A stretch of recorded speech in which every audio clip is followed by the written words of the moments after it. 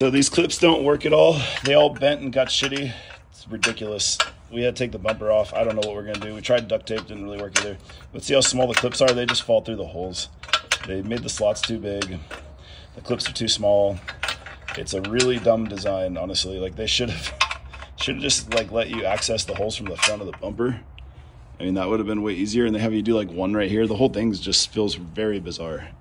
Like if these if these little E clips were way wider and actually tightened up enough, but you can see the gap right there. Look at that gap. They're just gonna float.